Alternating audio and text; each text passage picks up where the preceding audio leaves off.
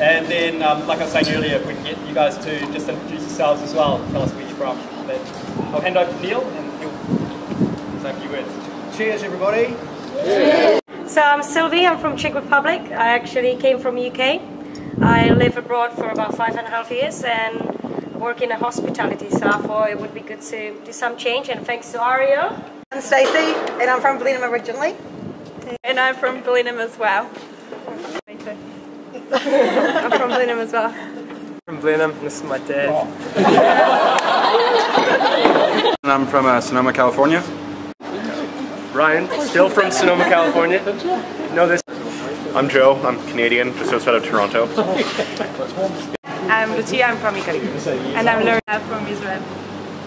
I'm from Austria, I'm Maggie, and I'm excited to taste your Gruner Veltliner. I'm Rebecca, and I'm an aspiring winemaker from the UK. Yay! I'm also from the UK. I come from a vineyard called Camel Valley in Cornwall. I, I'm Christian.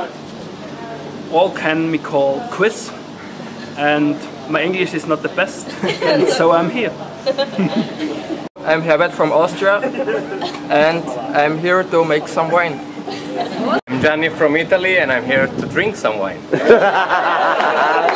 I'm David from Italy.